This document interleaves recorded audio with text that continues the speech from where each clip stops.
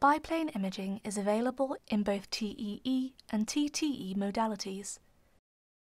To open biplane imaging, press or click on the biplane button in the ultrasound console.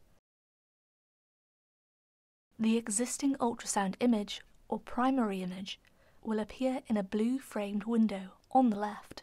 The secondary ultrasound image will be positioned on the right and, when selected by double clicking, is framed in pale turquoise. The positions of the ultrasound planes will be represented in the 3D model by corresponding blue and pale turquoise imaging planes.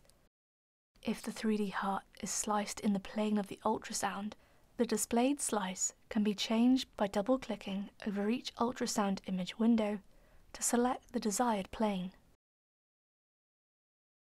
The controls that manipulate the secondary plane appear in the ultrasound console when biplane imaging is opened. These allow both positioning of the secondary plane within the primary plane and angulation of the secondary plane. The position of the secondary plane within the primary plane can be changed by selecting the biplane cursor button in the control console and dragging the pale turquoise line to the desired position. The changing position of the secondary plane is shown in the 3D heart model.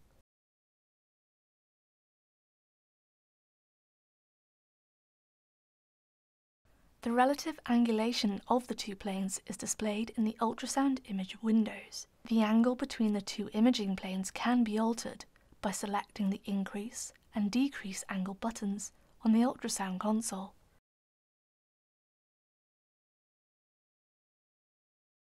The angulation of the planes is shown in the 3D heart window. The biplane images can be frozen to enable measurements to be made in the usual way.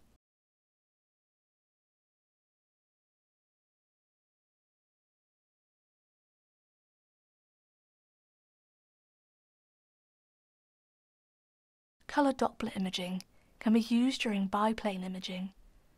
Changes to the region of interest size, and position are mirrored in each imaging plane. If pulsed and continuous wave Doppler functions are selected, the displayed ultrasound image will revert to the primary image for cursor placement.